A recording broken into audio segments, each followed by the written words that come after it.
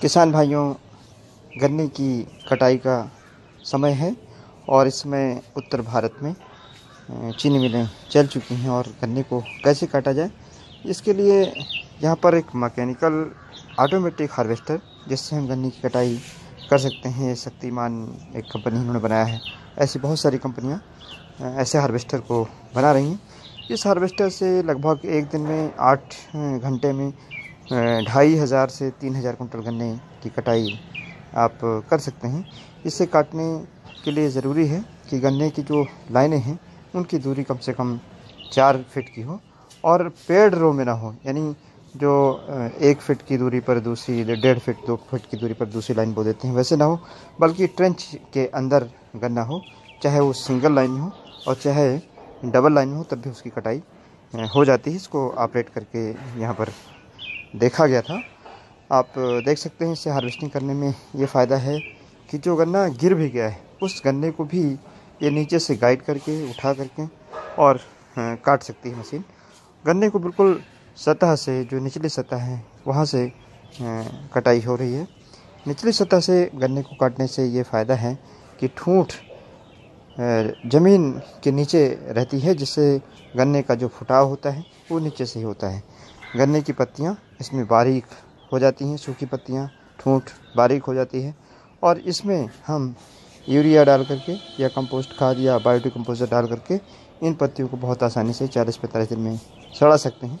और जो गन्ने की पेड़ी का फुटाव है, वह बहुत बेहतर होगा। एक यूनिफॉर्मिटी उसमें होगी, एक साथ फुटा होगा सिंक्रोनस फुटा होगा, जिससे गन्ने की जो मोटाई है, लंबाई है वो बराबर रहेगी, वज़न भी अच्छा होगा और उपज तभी अच्छी मिलती है जब हर गन्ने का फुटाव एक साथ हो, उसकी उम्र एक हो, उसका जो लंबाई है, मोटाई है, वो एक जैसी हो।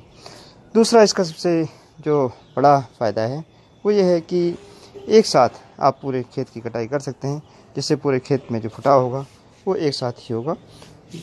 इसके अलावा इस मशीन का जो एक बेहतर उपयोग हम ये कर सकते हैं कि जो ट्रेस की बर्निंग करते हैं, यानी गन्ने की पत्तियों को हमको जलाना पड़ता है, बहुत सारे क्षेत्रों में किसान भाई इसको जला देते हैं।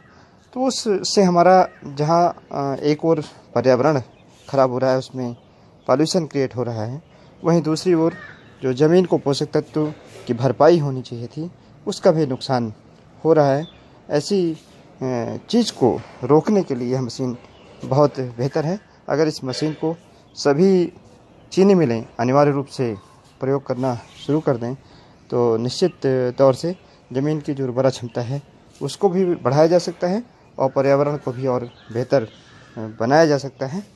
गन्ने की जो कटाई का काम है, वह काफ़ी दिक्कत भरा रहता है। फ्रेश केन, यानी जो कट टू क्रश पीरियड है, यानी गन्ने को काटने के बाद मशीन चीनी मिल में गन्ने की पेराई तक उस टाइम को हम कम कर सकते हैं और एक तरीके से नेशनल जो लॉस होता है शुगर का उसको भी बचाया जा सकता है, अगर इस मशीन का सदुपयोग किया जाए। दूसरा जो इसका बड़ा फ़ायदा है कि जहाँ पर बड़े प्लाट हैं, उन पर इनका प्रयोग बहुत आसानी से कर सकते हैं और जब चाहें तो खेत में गन्ना काट सकते हैं। दूसरा जो उपयोग है इसका वो ये है कि गन्ने की लोडिंग भी खेत के अंदर ही, जो फील्डर होते हैं, उसमें हो जाती है। इसमें आप देख रहे होंगे, आगे जो ट्रैक्टर है, उसमें पहिए नहीं है। वो पहिया ना होने से ये फ़ायदा है कि एक तो इस ट्रैक्टर को चलाने में कोई फ़ायदा कोई दिक्कत नहीं आती है। दूसरा, जो हमारी ठूँठ है, वो भी गुजरती नहीं है और बच जाती है। और तीसरा, उसका सबसे बड़ा फ़ायदा है कि ट्रैक्टर अपने आप गाइड होता रहता है हाइड्रोलिक सिस्टम से चलता रहता है और इससे दिक्कत नहीं आती है स्टेयरिंग को घुमाने में। धन्यवाद।